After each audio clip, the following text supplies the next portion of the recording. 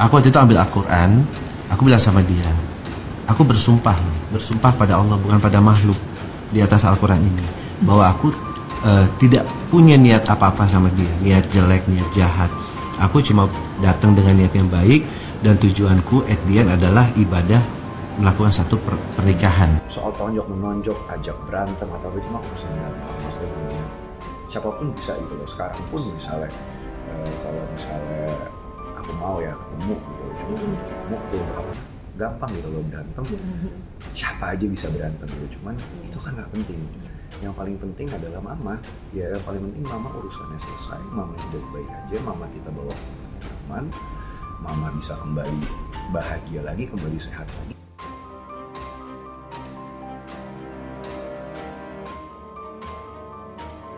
bahwa emosi mm-hmm. yang paling penting saat ini prioritas saat ini adalah mama.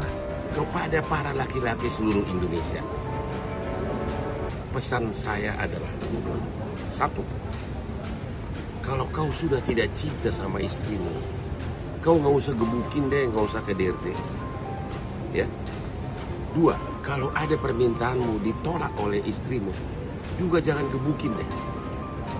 Harga diri laki-laki nggak ada kalau suka gebukin wanita satu ya. Sedihnya rasa kayak gue agak terharu ya gitu melihatnya karena dia datang dia nggak marah dia cuma kayak uh, menurut ibunya terus bilang mama gitu. Tuh gue kayak gue agak terharu sih ngeliatnya kayak ya udah gitu kan. Terus di captionnya juga dia bilang kalau mama nggak butuh laki-laki mama cuma butuh aku aku akan ada buat mama. Yang kayak gitu deh kalian lihat aja sendiri.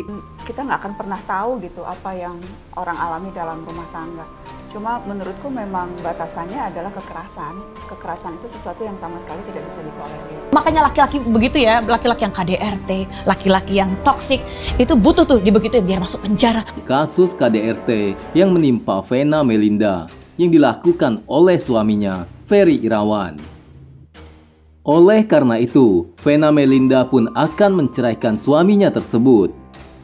Hal itu diungkap Hotman Paris saat ditemui di Kejaksaan Negeri Jakarta Barat. Hotman mengatakan, Vena Melinda sendiri yang meminta dirinya untuk menjadi kuasa hukum untuk kasus ini.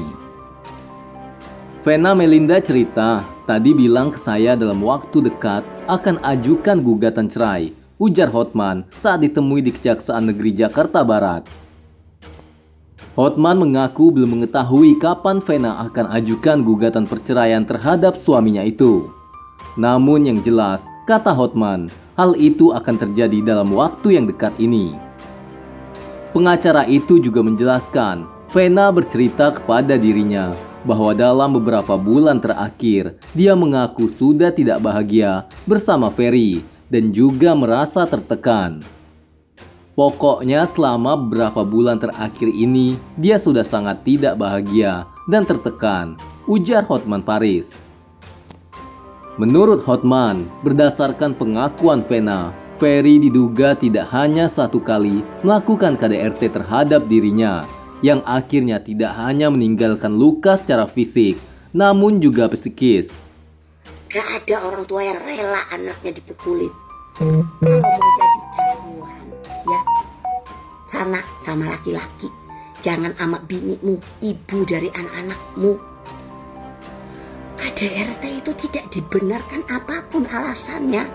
Kalau nggak suka sama binimu, kembalikan ke orang tuanya. Jangan main pukul.